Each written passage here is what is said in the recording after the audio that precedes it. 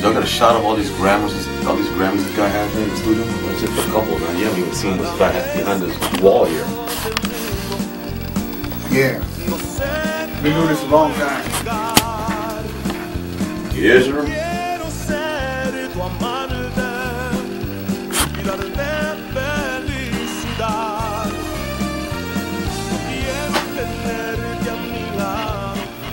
Mujer Two, con three, Luis. four, five, six. This is seven. And half of that other one. Okay, so I'm gonna do. I got one more left in the tank. That's it, man. One more for tonight, then We'll see you another day. I'm heading out and come back and finish this anthology album here for for Freddie. Uh, probably when I get back from the road for this weekend. We'll get it all done, but I'm gonna sing one more and then wish I could take you guys with me tonight. Unless y'all wanna hang out, cause it's a hell of a party, man. And this one was written by Gilbert. Did Chente write this song? He sure did. Yeah, he sure did. Chente, yeah, Chente Barrera wrote this song.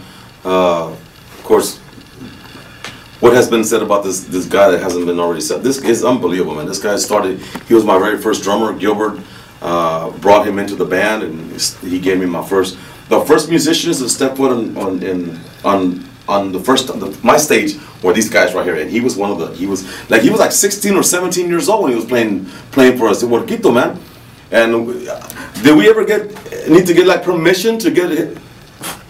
He was a studio drummer, and he still is to this day. And he's doing his own thing. He's got his own career going and stuff like that. And he still comes in and does all my background vocals and, and everybody else, you know. But uh, he was my very first drummer. And at that time, he was 16 or 17 years old, man. And, and there was places where he couldn't get in. You know, we would work and we couldn't. They wouldn't let him in because he was too young. But of course, you know, letting them, letting the, the club owners know and promoters, hey, well, this is our drummer. And, I mean, we just went through a lot of shit with him, man. We really did. But I mean, it was it was all, it was fun. Yeah. So nobody, none of the, all the guys, many, they were of course much older than him, but we couldn't stay like in Houston or Dallas. We were out of town, you know, to hang out with friends and party and stuff like that because we had to come home because this kid had school. So stupid kid. Anyway, I mean, you know, look at him now. You know.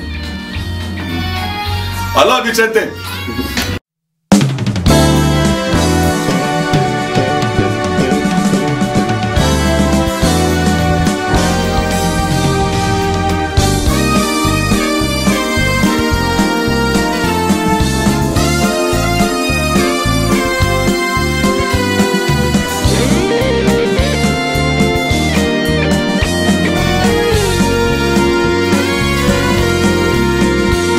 Cada vez que yo te miro, no sé cómo explicar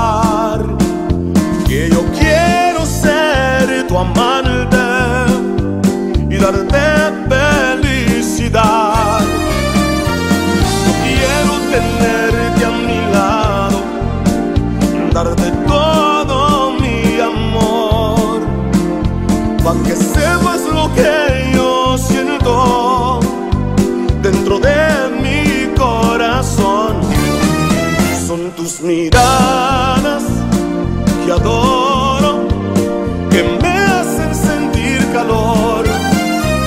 Por eso te quiero, te sueño con una loca pasión. Son tus miradas